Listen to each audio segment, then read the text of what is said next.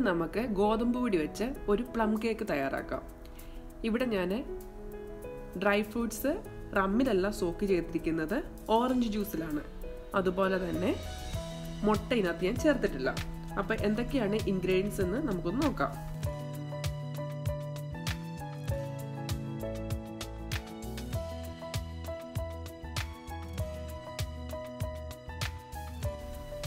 ഇവിടെ ഞാൻ എടുത്തിരിക്കുന്നത് ഗോതമ്പ് പൊടിയാണ്. ഇത് ഒന്നര കപ്പ് ഗോതമ്പ് പൊടി ഞാൻ എടുത്തിട്ടുണ്ട്. എപ്പോഴും നമ്മൾ കേക്ക് ഉണ്ടാക്കുമ്പോൾ ആ മെഷർമെന്റ് കൃത്യമായിരിക്കണം. അപ്പോൾ നമ്മൾ മെഷറിംഗ് കപ്പിൽ ഒന്നര കപ്പ് ഗോതമ്പ് പൊടി എടുക്കാം. ഇനി അടുത്തതായിട്ട് വേണ്ടത് ഡ്രൈ ഫ്രൂട്ട്സ് ആണ്. ഇത് ഞാൻ ഓറഞ്ച് ജ്യൂസിലാണ് സോക്ക് ചെയ്തിരിക്കുന്നത്.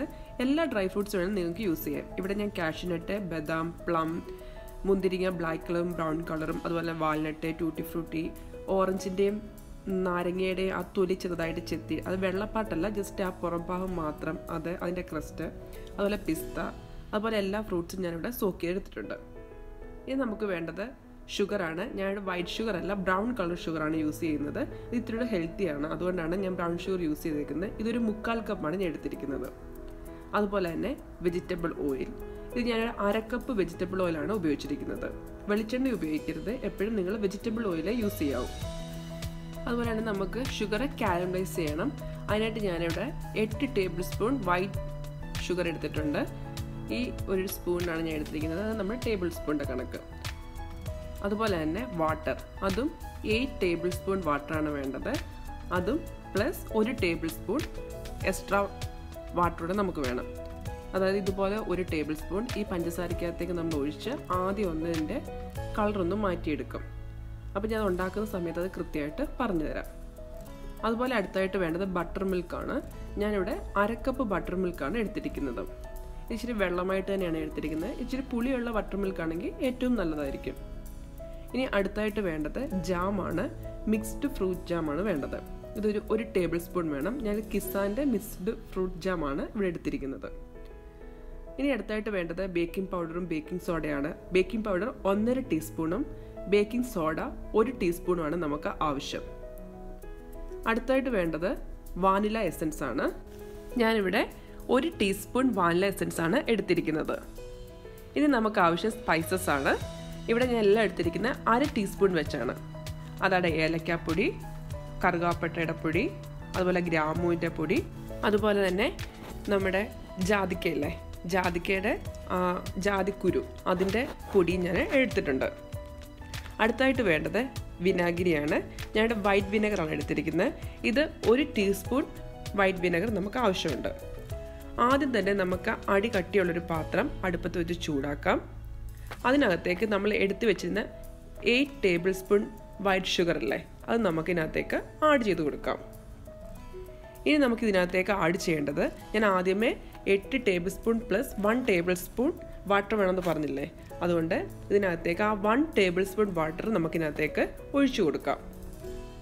എന്നിട്ട് തീ ഓൺ ചെയ്തതിന് ശേഷം ജസ്റ്റ് ഒന്ന് ഇളക്കി നമുക്കിതിന്റെ കളർ മാറ്റിയെടുക്കാം.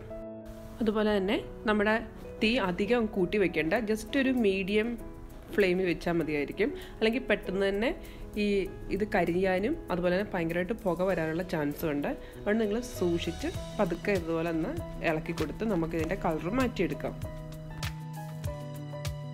ഇപ്പം നമ്മുടെ പഞ്ചസാര നല്ലതുപോലെ ലായനി ആയിട്ടുണ്ട് കണ്ടില്ലേ? നമ്മൾ ഒരു ടേബിൾ സ്പൂൺ മാത്രമേ വാട്ടർ ഒഴിച്ചു കൊടുത്തിരുന്നുള്ളൂ.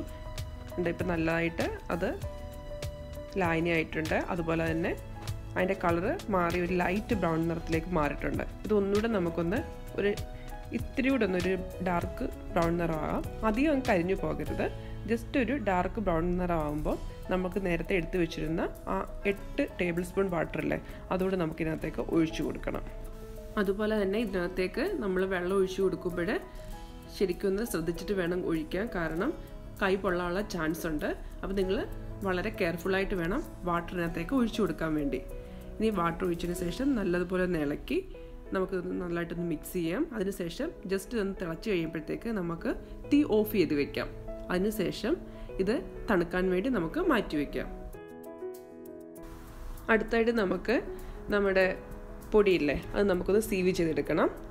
അപ്പോൾ നമ്മൾ പൊടി സീവ് ചെയ്യുന്ന കൂട്ടത്തിൽ തന്നെ അതിനകത്തേക്ക് ബേക്കിംഗ് സോഡയും ബേക്കിംഗ് പൗഡറും ഇട്ട് കൊടുക്കാം. അതുപോലെ തന്നെ നമ്മൾ നേരത്തെ എടുത്തു വെച്ചിരുന്ന സ്പൈസസ് കൂടെ ഈ സമയത്തിനകത്തേക്ക് ആഡ് ചെയ്യാം. അങ്ങനെ നമ്മുടെ ഫ്ലോറും ബേക്കിംഗ് സോഡയും ബേക്കിംഗ് പൗഡറും എല്ലാ സ്പൈസസും കൂടെ ഒന്നിച്ചിട്ട് വേണം നിങ്ങൾക്ക് സീവ് ചെയ്തെടുക്കാൻ വേണ്ടി. ഇത് ഞാൻ ഐക്കയിൽ നിന്ന് വാങ്ങിച്ച സീവറാണ് ഇത് വളരെ ഈസിയാണ് നമുക്ക് എല്ലാം നമുക്ക് സീവ് ചെയ്തെടുക്കാൻ വേണ്ടി. കാരണം ഇത് ജസ്റ്റ് ഇതുപോലെ ഒന്ന് പ്രസ് ചെയ്ത് കൊടുത്താൽ മതി. അപ്പം നമ്മൾ ഇങ്ങനെ ഇടയുമ്പോൾ പുറത്തോട്ടൊന്നും പോകില്ല. കൃത്യമായിട്ട് തന്നെ ആ പാത്രത്തിലേക്ക് വീഴുകയും ചെയ്യും. വളരെ ഈസിയായിട്ട് തന്നെ നമുക്കിത് സീവ് ചെയ്തെടുക്കാനും പറ്റും. അങ്ങനെ നമ്മുടെ പൊടികളെല്ലാം നന്നായിട്ട് അരിച്ചെടുത്തിട്ടുണ്ട്. ഇനി നമുക്ക് ഇതിനകത്തേക്ക് ബ്രൗൺ ഷുഗർ വേണം ആഡ് ചെയ്യാൻ വേണ്ടി.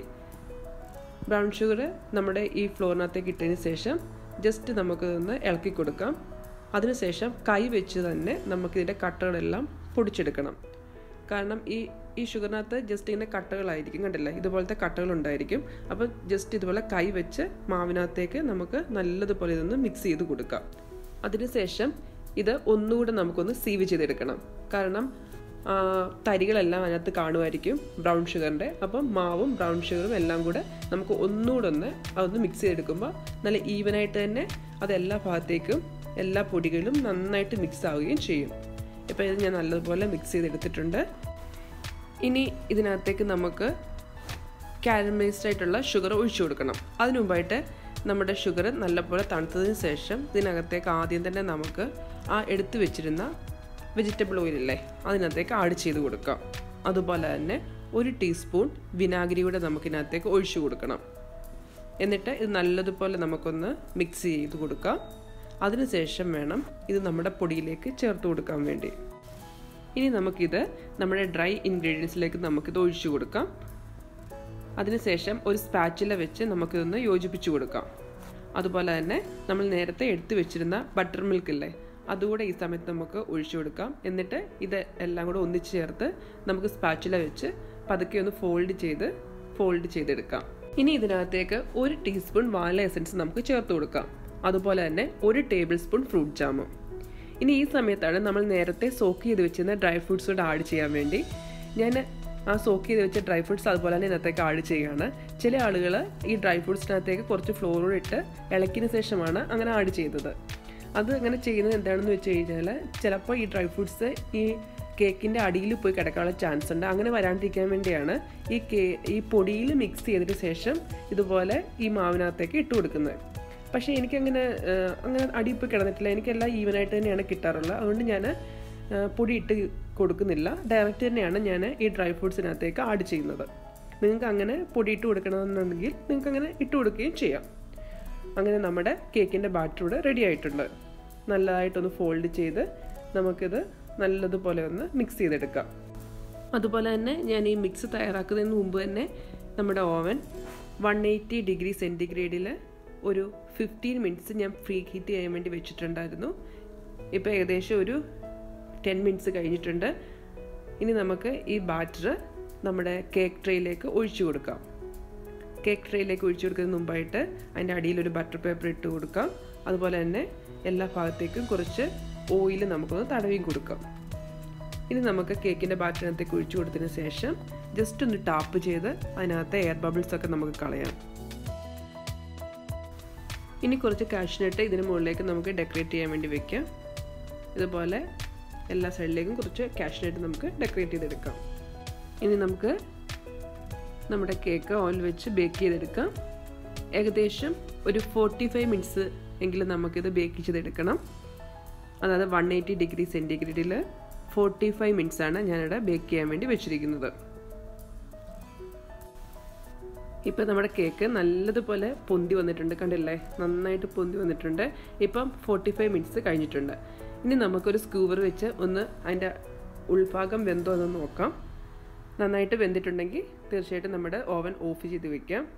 അതിനുശേഷം ഇത് നമുക്ക് ഒരു കൂളിംഗ് റാക്കിലേക്ക് മാറ്റാം. കാരണം കുറേ നേരം കൂടെ കേക്ക് അതിനകത്ത് ഇരുന്ന് കഴിഞ്ഞ് കഴിഞ്ഞാൽ അതങ്ങ് പൊന്തി വന്ന കേക്ക് ജസ്റ്റ് താഴെയുള്ള ചാൻസ് ഉണ്ട്. അപ്പോൾ നമുക്കിത് കൂളിംഗ് റാക്കിലേക്ക് മാറ്റി വയ്ക്കാം അങ്ങനെ നമ്മുടെ ഹെൽത്തി ആയിട്ടുള്ള പ്ലം കേക്ക് ഇവിടെ റെഡി ആയിട്ടുണ്ട്. ഞാൻ ഹെൽത്തി എന്ന് പറയാൻ കാരണം ഇത് ഞാൻ ഗോതമ്പ് പൊടിയിലാണ് ഉണ്ടാക്കിയിരിക്കുന്നത്. അതുപോലെ തന്നെ വൈറ്റ് ഷുഗർ അധികം യൂസ് ചെയ്തിട്ടില്ല. കാരണം കാൽമൈസ് ചെയ്യാൻ വേണ്ടി മാത്രമേ നമ്മൾ ആ വൈറ്റ് ഷുഗർ എടുത്തിട്ടുള്ളൂ. ബാലൻസ് നമ്മൾ ബ്രൗൺ ഷുഗറാണ് ഉപയോഗിച്ചിരിക്കുന്നത്. അതുപോലെ തന്നെ റമ്മിലെല്ലാം നമ്മൾ ഡ്രൈ ഫ്രൂട്ട്സ് സോക്ക് ചെയ്തിരിക്കുന്ന ഓറഞ്ച് ജ്യൂസിലാണ് അപ്പോൾ തീർച്ചയായിട്ടും ഇതൊരു ഹെൽത്തി ആയിട്ടുള്ള പ്ലം കേക്ക് ആയിരിക്കും. അപ്പോൾ നിങ്ങൾ ഈ രീതിയിലൊന്ന് പ്ലം കേക്ക് ഒന്ന് റെഡിയാക്കി നോക്കുക. നിങ്ങൾക്ക് ഇതിന്റെ ടേസ്റ്റ് തീർച്ചയായിട്ടും ഇഷ്ടപ്പെടും. ശരിക്കും പ്ലം കേക്കിന്റെ അതേ ടേസ്റ്റിലായിരിക്കും ഈ കേക്ക് ഉള്ളത് അപ്പോൾ നിങ്ങളൊക്കെ ഒന്ന് ട്രൈ ചെയ്ത് നോക്കുക.